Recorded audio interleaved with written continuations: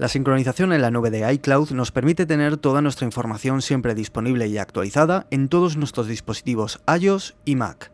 En ajustes tendremos que asegurarnos de tener configurada la misma ID de Apple y tener marcadas todas las opciones de sincronización que nos interese, como el correo, contactos, calendarios, recordatorios, datos de Safari, notas, fotos en streaming y documentos y datos. Vamos a hacer alguna prueba para ver cómo funciona la sincronización de iCloud en nuestros dispositivos. Comenzamos con los contactos. Aquí tenemos un contacto creado en iPhone y en el iPad. Lo editamos y le agregamos la dirección de su página web.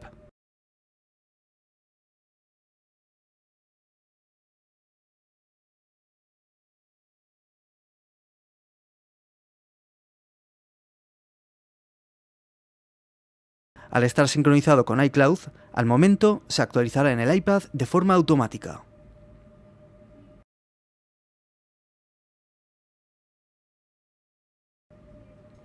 Nos vamos a la aplicación Notas.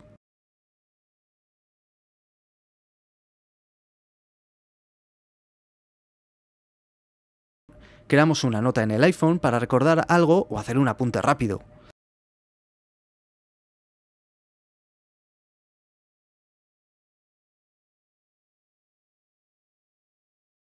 Esperamos unos instantes y ya la tenemos en el iPad.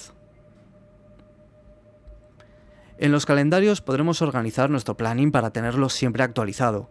Crearemos en el iPhone un nuevo evento. Además del título y el lugar, podemos especificar una hora de inicio y de fin. Una vez que lo tengamos listo, se incluirá en el calendario del iPhone y al momento también en el del iPad sincronizado mediante iCloud. Cualquier cambio o modificación que hagamos en los eventos automáticamente se sincronizará en el resto de nuestros dispositivos asociados a nuestra ID de Apple. Todo ello gracias a iCloud.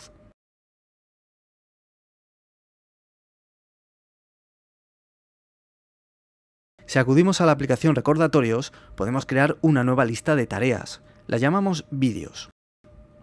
Ahora podemos ir escribiendo tareas dentro de la misma. En un momento la información subirá a iCloud y enviará las novedades a los recordatorios de las aplicaciones, en este caso del iPad. Una de las principales ventajas de usar nuestra cuenta en iCloud.